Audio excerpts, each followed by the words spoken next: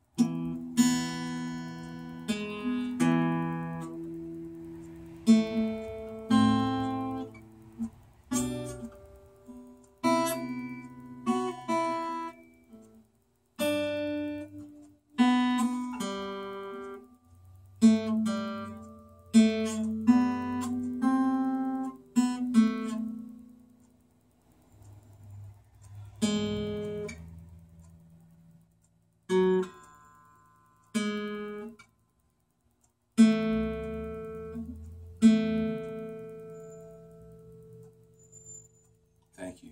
Thank you very much.